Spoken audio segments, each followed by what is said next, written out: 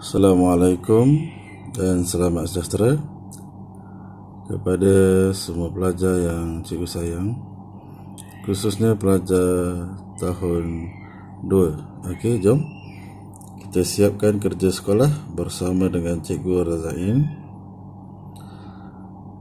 Okey, aktiviti 2 tanda right pernyataan yang betul tandakan pangkah pernyataan yang salah Okey, soalan ni pelajar perlu tengok.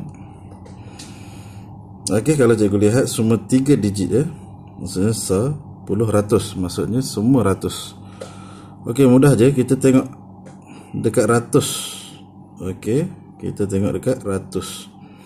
Kalau ratus sama baru kita tengok dekat puluh. Okey, kalau puluh sama baru tengok dekat sa. Okey, kita tengok ni. Ratus dia lima ini empat. Maksudnya lima lebih daripada empat. Betul. Lima memang lebih daripada empat. Okey B. Macam biasa. Okey. Ratus dia sama. Bila sama kita pangkah belajar. Sebab dia mengganggu kita. Kita tengok puluh. Okey. Puluh. Tiga. Dengan tujuh.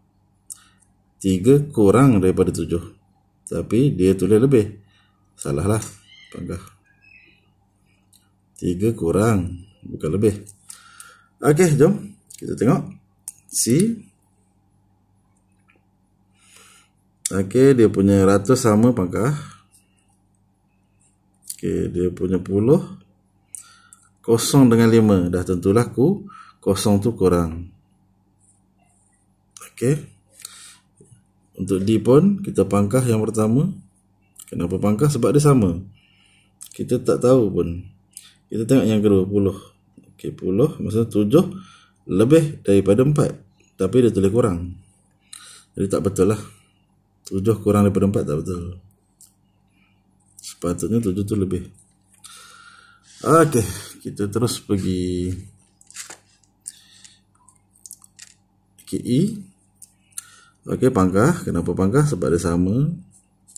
Kita tengok 3 dengan 4. 3 kurang.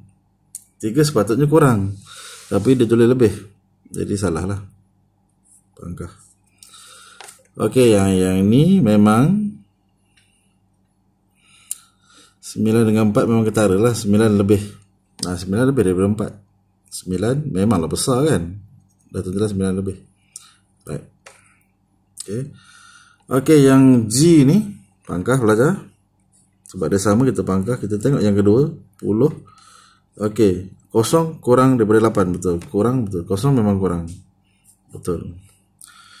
H Okey, kita pangkah sebab dia sama. Kita tengok yang kedua, 6 dengan 9, 6 kurang. Okey, betul. 6 kurang daripada 9, betul. Okey, mudah je kalau pelajar tahu teknik atau cara nak jawab tu cukup mudah benda ni. Tak payah nak pening-pening, nak fikir-fikir Cuba pelajar tengok je ratus tu macam mana. Okey tengok ya. Okey tengok ratus dia. Ni ni ratus, ratus maksudnya dua kurang. Ha, tapi dia tulis lebih, salah lah. Dua kurang daripada tiga. Okey. Ratus sama bangkah. Sembilan dengan enam. Sembilan lebih. Ha, betul lah. Sembilan tu lebih daripada enam. Okey, mudah pelajar. Sebenarnya, untuk pelajar tentukan, untuk bandingkan, yang mana lebih besar, yang mana lebih kecil pelajar, yang pertama pelajar tengok dia punya ratus. Kalau ratus dia dah beza terus dapat jawapan lah. Tapi kalau ratus dia sama nilai pelajar pangkah, pelajar tengok puluh. Ha, kalau puluh dia tak sama selesai masalah. Kalau puluh pun sama ha, pelajar pangkah lah puluh. Pelajar tengok sa. Ok itu saja. Ok pelajar. Saya harap pelajar boleh faham. Nah, selamat belajar. Jumpa lagi. Terima kasih.